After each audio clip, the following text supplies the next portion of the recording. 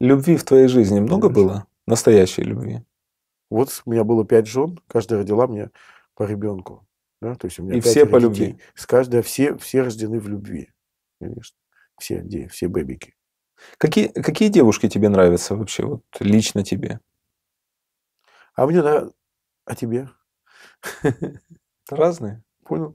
Вот на разный, в разный этап жизни мне нравятся разные. Сейчас вот мне стали что-то нравиться балерины. Ты знаешь, я вот То есть на искусство потянуло. потянул это Что искусство. объединяет всех женщин, которые нравились себе в разные периоды жизни? Ну, нежность, романтизм, любовь Нежность. к литературе, нежность, любовь к литературе. Ты влюблялся когда-нибудь э, в кого-нибудь из своих подопечных? Вот как раз все мои жены и выросли из моих подопечных. Оттуда все, вот, да? конечно, я в них влюблялся и женился. На лучших, понимаешь ли, зверях из, за, из моего леса. Из зверинца. Из зверинца, да. Я как раз на них, грубо говоря, это чупа-мупа. Ты, ты устраиваешь чужую личную жизнь, а твоя личная жизнь сегодня устроена?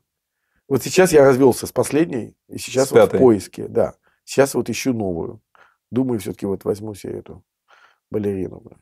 Вот эту из Киева. Не, ну, еще не решил, какую именно, но вот хочу балерину или гимнастку сейчас. С растяжкой.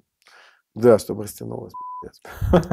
Жены не ревновали тебя к твоему бизнесу?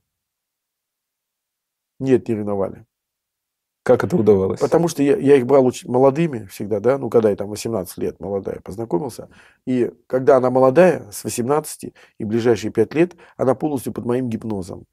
А потом уже я ее всему научил, и она выходит из гипноза. И, и у нее такая, и она начинает сама гипнотизировать. И я думаю, «Нихуя себе, нам в семье второй гипнотизер не нужен. И все, быстренько надо его это. Зверя назад, в лес. Да, да, в лес, ну, ну уже там же очередь охотников. Я же егерь.